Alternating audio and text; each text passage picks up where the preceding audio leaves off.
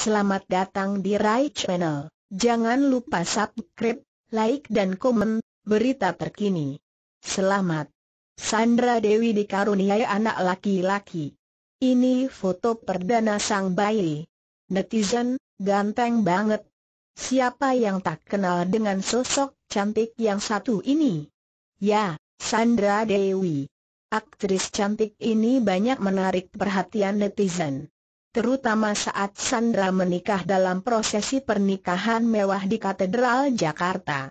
Sandra dan Hardy juga merayakan pernikahan mewah di Tokyo Disneyland. Ia pun sempat membuat banyak orang iri karena ia tetap langsing saat kehamilannya yang pertama.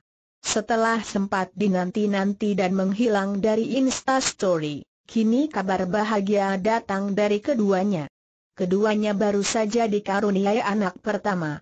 Bayi mungil berjenis kelamin laki-laki tersebut lahir sehat. Ia diberi nama Rafael Muiz.